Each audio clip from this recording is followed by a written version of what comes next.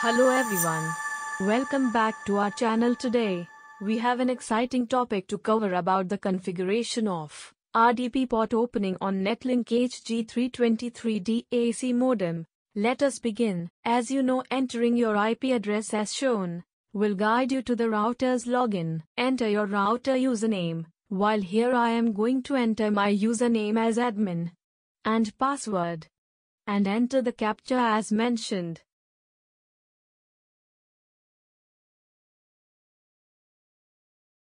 Then click Login. On Netlink dashboard click Application menu. Select Advanced NAT. Then go to Virtual Server. And click Add button to configure NAT RDP. Here, I am going to use the Angry IP application to find my custom server IP address.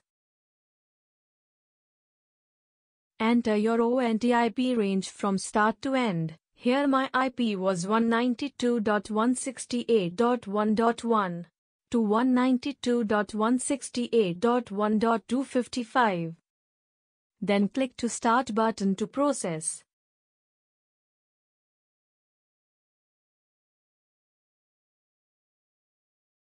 It takes few more minutes to get IPs of the device connected.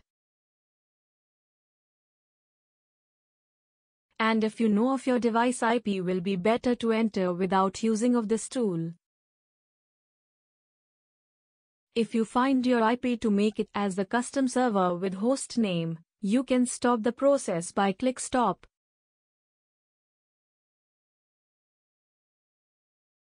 After completion of Angry IP app process then click IP to custom.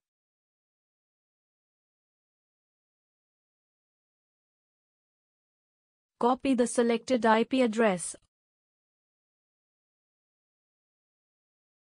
and host name to enter. Then go to ONT dashboard, then change to the custom server and enter an copied host name and IP address as copied.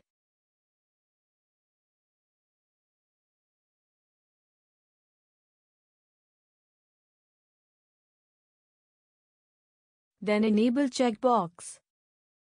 And then entering external IP address will configure protocol to their particular hosting device. As you know RDP port number as 3389. To make it as confirmed then search on the web.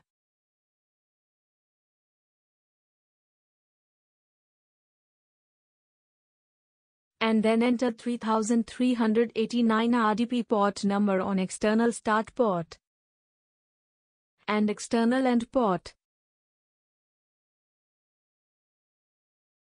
Select the protocol from the drop-down list as TCP. Enter a custom IP address as entered above. And enter 3389 as server port. Then enable next checkbox. As I said it before the external IP address only for a specific device to configure and enter RDP port number on both external start port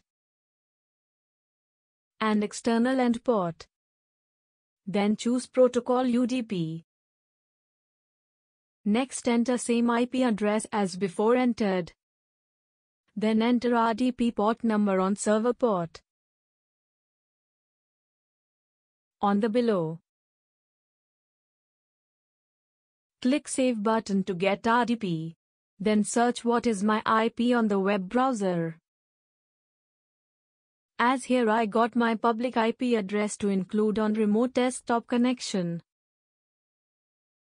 Copy those IP to enter. Open your device RDP then enter a copied public IP address on the remote desktop connection computer tab. Then click Connect to process. To verify your device as you entered, click Yes. Within few seconds you got your RDP device. Then you can work with any browser by clicking it.